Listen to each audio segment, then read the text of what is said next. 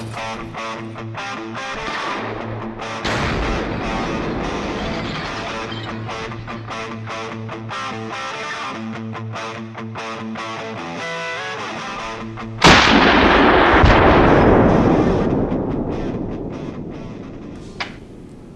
there, Jeff from Small Arms Research. Thanks for tuning in.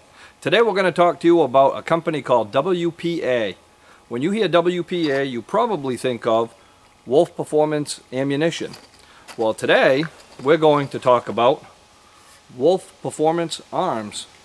Stick around. Check out this Vepr. Let's start out by chatting a little bit about WPA. Uh, previously known as uh, Wolf Performance Ammunition. Today the larger company is Wolf Performance Arms. They have an optics line, they have a rifle line, uh, and then they have their standard ammo line that everybody's used to. Now the firearm that we're testing today is the Vepr, V-E-P-R. Uh, is Ukrainian for wild boar. The Vepr is manufactured in Russia in the plant, I believe it's called Molot, M-O-L-O-T. I'm sure somebody can correct me on the pronunciation if that's not correct. Uh, this is the plant that typically manufactured the Stechkin machine pistols and also manufactured the RPK light machine guns. In 1995, the political climate had changed and the Molot plant started looking for something for the commercial market.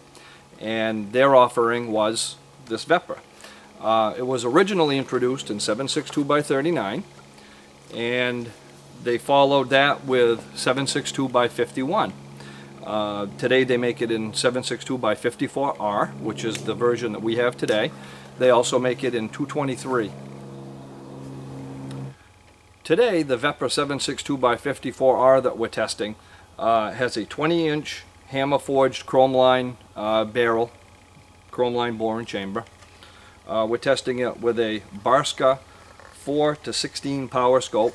We only thought that was fitting. It has a side scope mount. It has a very, very rugged receiver similar to that of the RPK.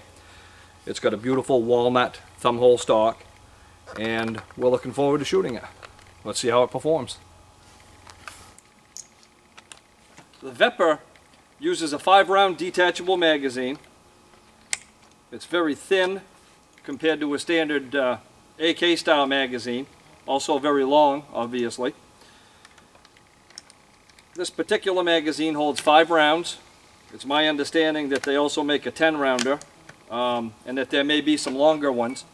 We're sighted in roughly at uh, 50 yards. We're going to put a five shot group down and we're going to see how this 148 grain uh, Russian ammo does.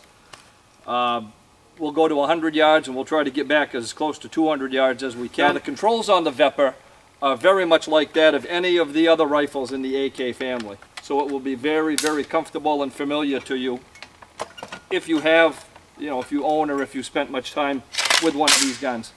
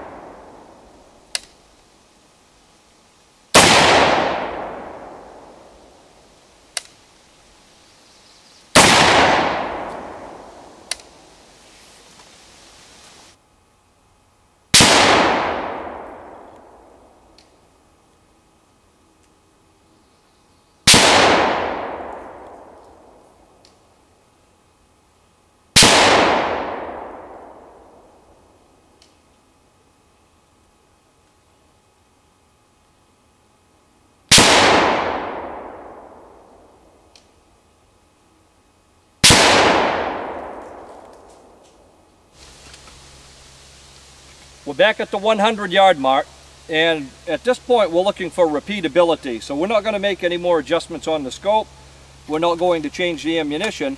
We just want to see what the change in the point of impact and the type of grouping is without making any adjustments. We're just testing to see what the rifle is capable of um, with me behind it. What a handicap for the rifle, huh?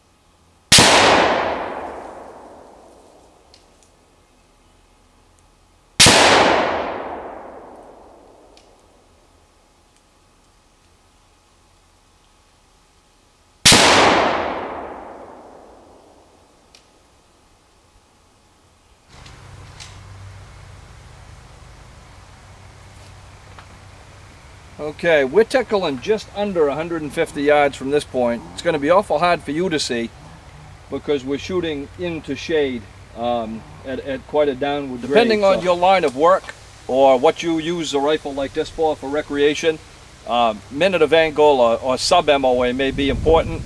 To other people, uh, minute of tannerite is what they're looking for.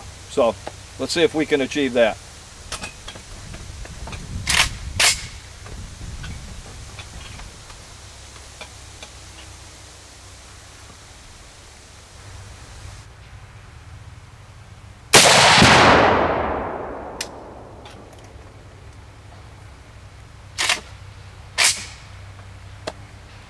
That would be a yes.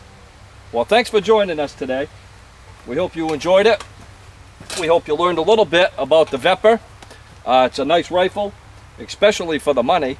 Um, I would certainly compare it to a poor man's Dragunov without uh, uh, losing any quality whatsoever. Very nice gun, nice wood, good trigger, uh, and it shoots very well. Again, thanks for joining us. If you liked the video, please subscribe and ask your friends to do the same. Have fun and be safe.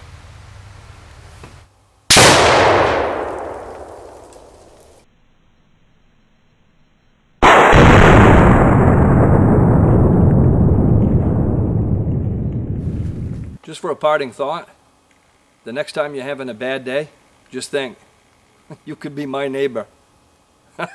Feel better already, don't you?